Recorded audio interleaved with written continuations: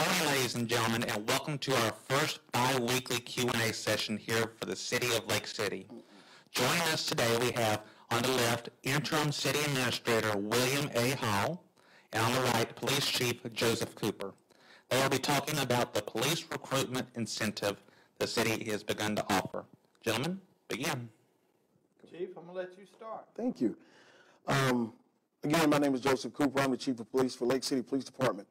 Um, the incentive program, uh, the focus of our incentive program is to try to market to where our police officers are in our communities. Now, we have several, uh, I guess, communities and neighborhoods that require or at least would love to have the presence of a police officer. Now we know uh, collectively across the board in the city, this we can't do this for every community, and we can't do it citywide.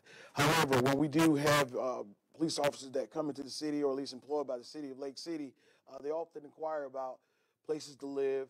Um, we want them to stay and be inviting, and also at the same time, we want to make sure that they become a part of the community, and, and, and I guess just anchor themselves in and be be as one. Um, I think it's more inviting and more uh, of a homely feel of them being a part of the family.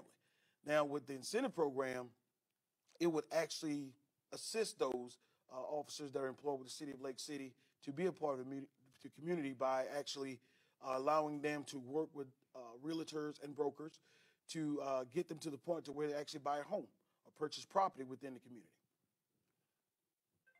And with that being said, Chief Cooper, we also want to let everyone know that there's a lot of competition out there to bring in good prospects uh, to, to work in their organizations. And, and, we're trying to do something extra special.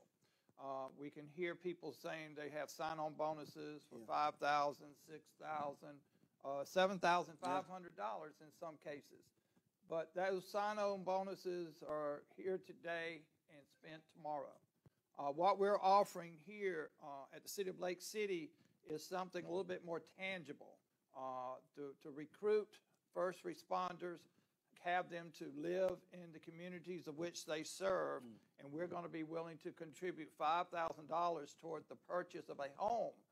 And in reality, when we invest in that home, that home will appreciate in value, and that $5,000 now turns into 10.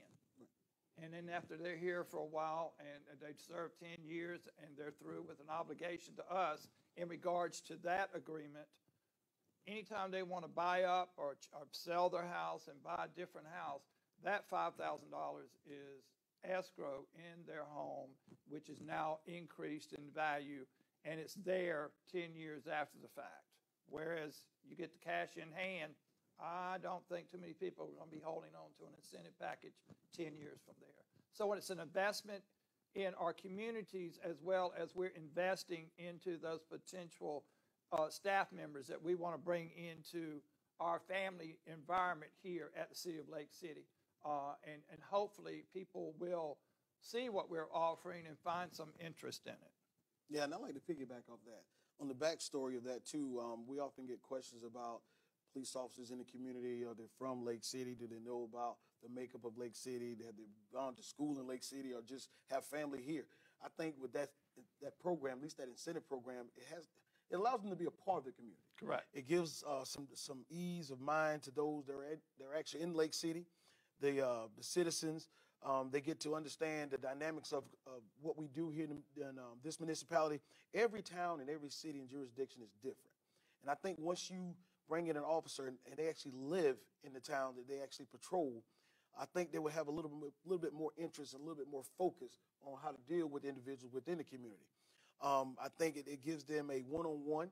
It's more, um, I guess you build a better rapport because you actually live there. And I think you will patrol better and you will take care of your community a little bit better. And also, at the end of the day, to be honest with you, I think it gives the community a peace of mind that, that you do have a police officer that actually lives in your community. Now, granted, we are on on call 24 hours a day, seven days a week, but we must allow them to actually take a nap sometimes. So they're going to be a little bit busy, but I think it gives it a better um, feel for the community to have someone there. And like I said, we, we've had individuals apply for the police department on several occasions, and the biggest thing that came up was, you know, do you have uh, housing here? Do you have any type of apartment complexes here? Something that I can actually build on because I'd love to stay. because we want to actually give them opportunity to actually build a career. We, we're not offering them a job. We actually we, we actually offer them a career in this profession. So we want them to stay a little longer and, and you know and actually invest in what we have. Yeah. And, and, some people may ask, well, or think buying a house is, is a, a major decision to make and, and, and I didn't live my life right in the past and my credit's not the best in the world. Right. Well, we've got a dedicated uh, realtor that's willing to work with us, and we have a dedicated mortgage broker. And in the conversations with our mortgage broker, our normal mortgage company is looking for a 620 on your credit score. Now, the good thing about this program is we've got a mortgage broker that's agreed to work with people with a 580 credit score. Right. Now, that's a major task and that's a major offering to people. And those that aren't at 580, he's willing to put them on a path to get them to 580 so they can become homeowners in the city of Lake City and they can be part of this community as well as part of this family here working for the city of Lake City. We have about 87 full-time staff members here. And I'm going to say those that live in the city and those that don't live in the city, but I will say if you go downtown and walk Main Street, they're going to know who you are. Yeah. Because there's only 87 of us. And believe me, they know us by name. And they'll blow the horn. Hey, how you doing? So it's a wonderful place to be. It's a wonderful feeling to know that you're recognized and they know that you serve at their pleasure because we serve the community. Right. So we put the program, program together. We gave it some thought, and now we're hoping that someone will see get some interest in it and follow up on it. Right. And before you go out, anyone that's um, interested in interested in being a police officer in the city of Lake City, um, before you go out and start making any type changes to your credit and big plans, I would ask, I would beg that once you're here, that you sit down with the broker, with the realtor, and see what you have. Veterans, oh my God, we we we love the fact that veterans are applying um, because that transition into a home with a um, VA certificate sometimes is seamless. It's seamless because you just roll right into it and you can transfer it. So if you're leaving another agency, as far as a lateral transfer from another state, and you come into Lake City and you want to transfer your, your VA certificate, they can tell you how to do that.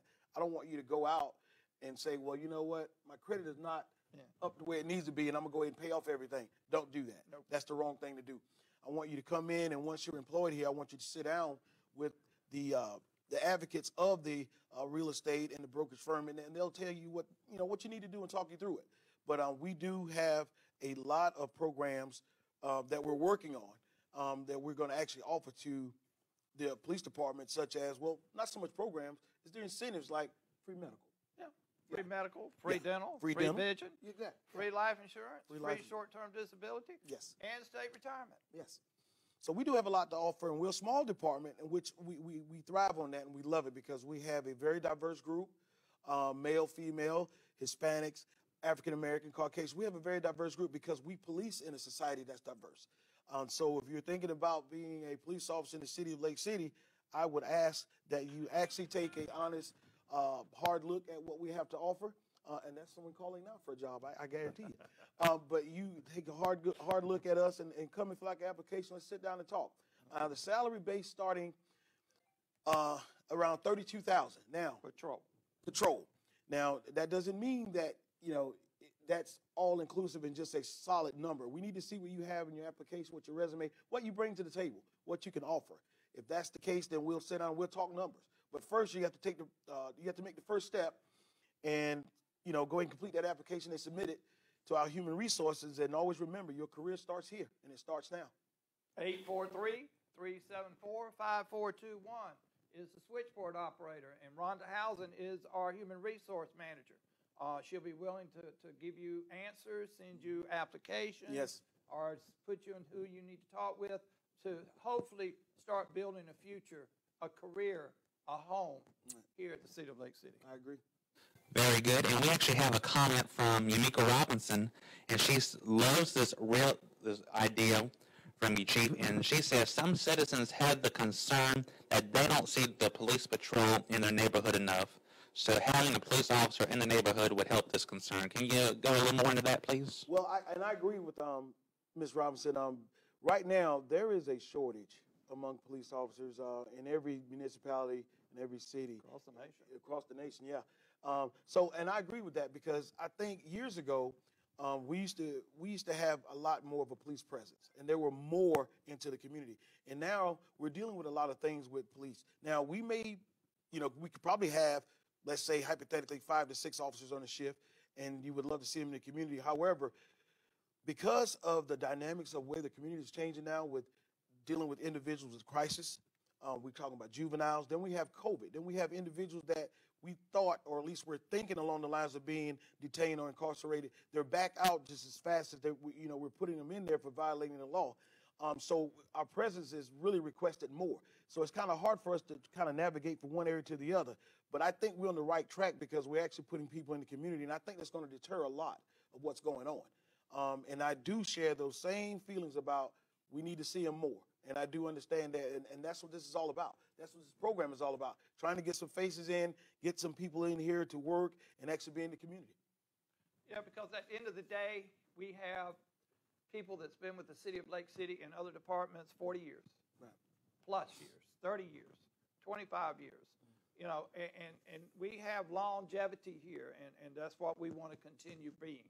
Uh, we feel that, and, and I think the philosophy that we have is we bring you in on the bottom and get you developed, trained, put you in a managerial uh, uh, role eventually to where you can build a career, have a future, and live your, your life here in Lake City, and, and everybody can be happy. Yes, yes. And just to piggyback on that, the career path is what the police department offer. Uh, coming in uh, as a patrolman, that does not mean you'll stay at a patrolman level because we're going to make sure you get trained. We're going to build your career path. If you want a job, I get it. You can be here as long as you would like uh, for that purpose of having a job. But if you want a career, this is a place you want to start because we will actually get you to the point where you are marketable if you want to leave. So we want to help you with that. And we know that coming here and, and, and working here is not the be all and end all for everything. We know sometimes things happen in life. Life happens and you have to move on. But I would love to have you come in, sit down, uh, put that application together, help me build your career path and get you where you need to be because we need good officers. We need good people to come in. And this job is not easy, you know, but we want to give you a career path and give you a profession. Yep. That's, that's, that's, a, that's a true statement. Again, if you have any questions, uh, please put them in the comment section. Uh, we've gotten a lot of great feedback so far. And gentlemen, thank you so much for joining us here this morning. If you have any other questions here after the session ends, leave them in the comment section below and we will get them answered for you. Thank you for joining us for our first bi-weekly session. We'll be back again in a couple weeks with another Q&A session. Thank you so much. Thank you. Oh, isn't that wonderful?